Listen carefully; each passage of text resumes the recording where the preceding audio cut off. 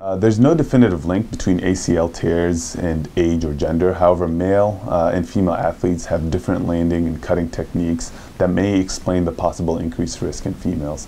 Uh, for example, some female soccer players play more of a knock-knee position um, or have a reduced hip and knee range of motion or even have a decrease, uh, decreased hamstring strength compared to their male counterparts. And all of these factors may lead to an increased risk of uh, ACL injury.